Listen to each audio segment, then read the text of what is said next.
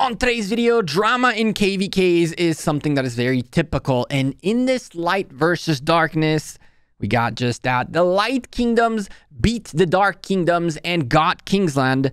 But when it was time to talk rewards, things did not go well at all. And while each side has something to say about the other, well, in the process, two of these kingdoms ended up taking the ziggurat by force. So sit back, slap a like on the video, and let's go.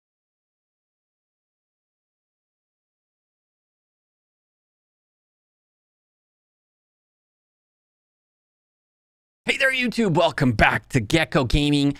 This KVK is all sorts of wildness, and we're going to talk about it in a second before we start. Don't forget to drop a like on the video and hit that subscribe down below. Tomorrow, we have an interesting video about an uncommon pair of Garrison that has been doing extremely well, so make sure you don't miss that by hitting the bell down below so you get a notification when we upload a new video. And here we go. So, I was hit up about this KVK about like two or three days ago, and actually by multiple people, and they were telling me that there's a backstab about to happen. The way this KVK worked out is as followed. This is a light versus darkness, which is essentially top and bottom versus left and right. And the kingdoms involved are 2148, 2155, 2139, and 2161 for the light team.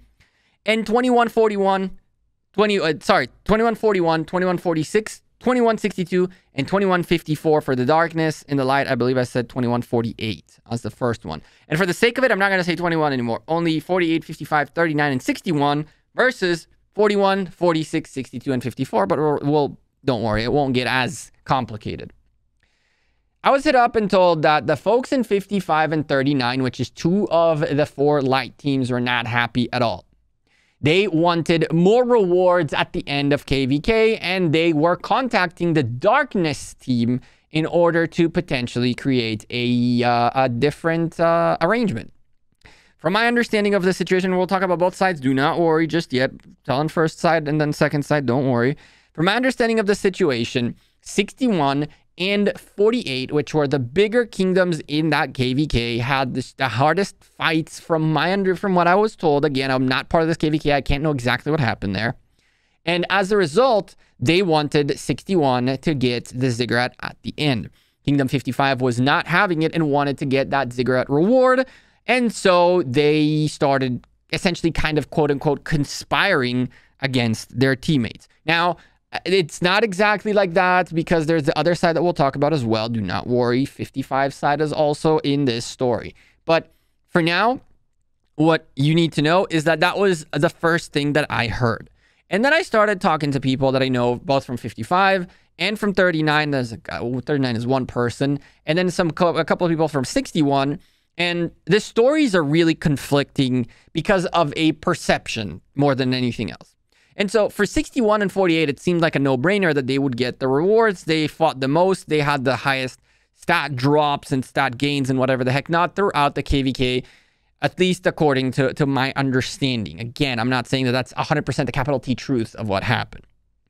And in the process, apparently, when the light team came together to talk diplomacy, they agreed that this is going to be a, at the end, the light teams will kind of duke it out and last man standing gets the ziggurat.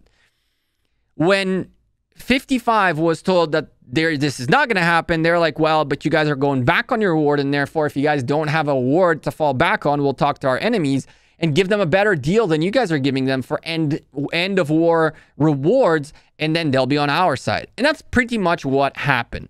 55 and 39 essentially paired up with the kingdom of uh, kingdoms in dark to get rid of 61 and 48 and claim the ziggurat as well as give better rewards to the dark team. Now, I don't know exactly. We will also never know exactly the truth, right? 55 think that they're right, and 39 think that they're right. 61 and 55 think that they're, and 48 think that they're right. And 61 and 48 have all these different screenshots and proof of conspiracy, while 55 and 39 also have tons of screenshots of of broken promises and whatever the heck not. And from my understanding, 61 even went into a civil war due to some leadership conflict due to what happened with the diplomacy in the KVK, which caused even more issues. But that I have not confirmed. I was just told that yesterday on stream when we were spectating this KVK. Now, here's my take on all of this. First of all, when two sides have very different stories but are fairly similar that are all about rewards, it tells me that something in the communication there was not good from the beginning. Either that or someone went back on their award and therefore it, it works out. It doesn't work out at all, right? To an extent, coming up with how we're going to divide KVK rewards ahead of time before the fights and before everything else is a little bit of a problem because what ends up happening is someone always puts in more effort than another kingdom because that's just how it is. And then the kingdom that put more, more effort feel like they should get more where they don't necessarily get that extra, that, that courtesy per se or something like that of the other kingdoms around. And so in 55's perspective, they were like, we agreed for a last man standing. In 61 and 48's perspective, they're like, well, you guys barely had any fighting to do to an extent, and therefore, why would we now fight you guys? And you guys, and it was a whole big of a mess, okay? It's a giant mess. But at the end of the day, it all comes, comes down to who is willing to give up on rewards and who isn't.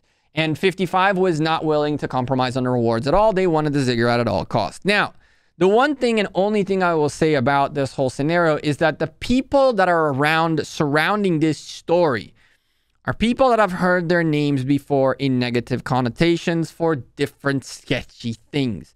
So I'm not naming names and I'm not going after like specific targets or specific kingdoms, but be that as it may, it does seem like some that like a, a, something keeps happening again and again within particular individuals within these sides, and somehow this ends up being an issue over and over and over three KVKs now. Not, and I'm not saying only 55 or only 39 or only 48 or only 61.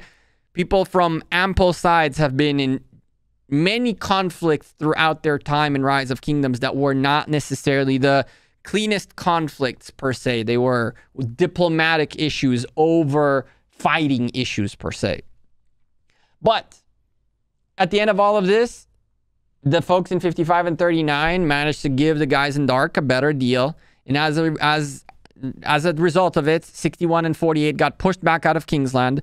I did not watch them really put too much effort into stopping this.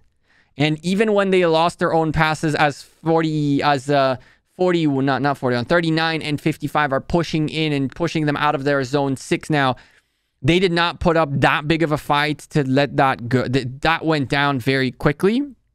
And so it seems that maybe 55 and 39 had a point to an extent because it seems like they have the the ability to to get the fight going. But on the other hand, if they did not fight as much during KVK, because their opposition had civil wars in it, had some issues in it, had like a bunch of stuff happened there.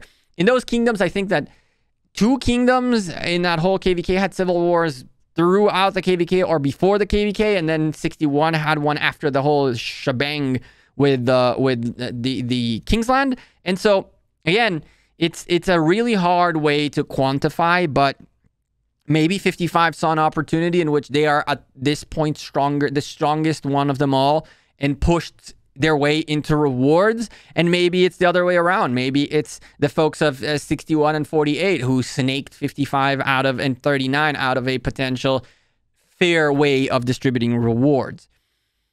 I don't know. I don't know to tell you who's right, who's wrong, but I did want to bring this kind of a this kind of a story to you guys. We haven't talked about many KVKs in this channel for a while. Uh, the the um, quote unquote meta or what you guys have been seem to have been enjoying more is people who live stream KVKs and I'm not a big, big fan of live streaming KVKs just because it's much harder to tell stories. It's much harder to uh, to talk strategy and all that when you're live on stream because you can potentially influence the outcome of those KVKs. So I think that we're going to go back a little bit into recording KVKs and tell, telling stories from KVKs and a little bit of the uh, of the of the in and outs of what happens in the KVKs that is not necessarily a live streamed piece of content. Let me know in the comments down below what you think about that. I do want to get back a little bit into the uh, into the stories of things happening in KVK in kingdoms all around, civil wars. Um, it's like any awesome KVKs going on, any strategic things that are cool like this this video tomorrow about this garrison that we're going to do. I did not know about it at all. This came from some of you guys out there who have been doing this and doing it successfully to the point where it's it's just we can't not highlight it, you know? So we're going to go back a little bit more into that. So make sure you're subscribed down below for more of that. And if you have anything cool going on, any KVK going on, anything like that, doesn't have to be a huge one. It can be uh, all B's and C's and D's kingdoms. That's completely fine because we can find good stuff being done by the community everywhere. And so, yeah, I'm Gekko. I'm out of here. Appreciate you drop the like on this video, subscribe down below, and I will see you in the next video. Take care and have a good one. Peace.